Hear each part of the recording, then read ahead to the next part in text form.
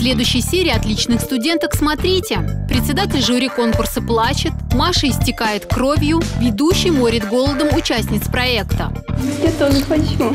А пока нельзя. Те, кто работает, те не едят. Не пропустите 8 апреля в 20.30 на национальном телевидении.